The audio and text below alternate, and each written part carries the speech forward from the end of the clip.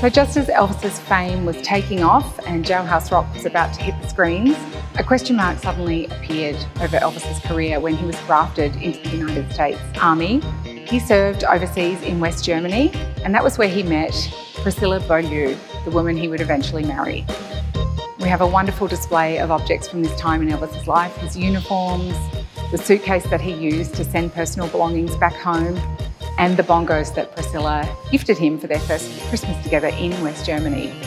On his return, Elvis participated in a television special with Frank Sinatra. We have some pieces of uniform that he wore in that TV special. And this was part of really repositioning Elvis from a kind of rugged misfit into a beloved American household name.